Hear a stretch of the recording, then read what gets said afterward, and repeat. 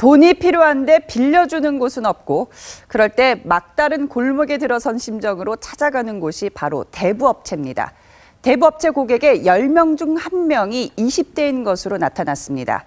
극심한 취업난에 일자리는 없고 학자금 대출도 갚아야 하는 젊은 층들이 벌써부터 빚에 신음하고 있습니다. 신은석 기자입니다. 올해 23살 황 모양은 얼마 전 대학을 그만두고 판매 일을 시작했습니다. 2년 전 대부업체에서 빌린 돈을 갚기 위해서입니다. 그동안 매달 이자만 70만 원씩 내고 있는데 끝이 보이질 않습니다. 그, 그거는 갚은 게 없어요. 계속 이자만 냈으니까. 대부업체들은 돈을 갚으라며 하루가 멀다 하고 독촉 전화를 합니다. 아, 그냥 하루에 몇 번씩 전화하고 문자 오고 그게 일주일 전부터 전화가 와요. 자신의 학자금 대출뿐 아니라 가족을 위해 빌린 대부업체 대출은 이제 멍해가 됐습니다.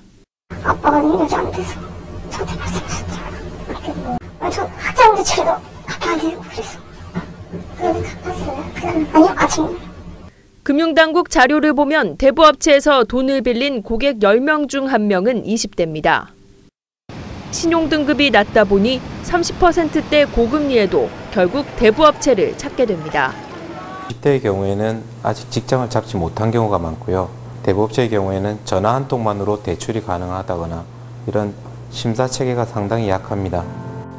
취업은 안 되고 학자금은 갚아야 하고 학자금을 빌린 20대 20명 중 1명은 대출금을 갚지 못해 또다시 돈을 빌려야 하는 악순환에 빠져들고 있습니다.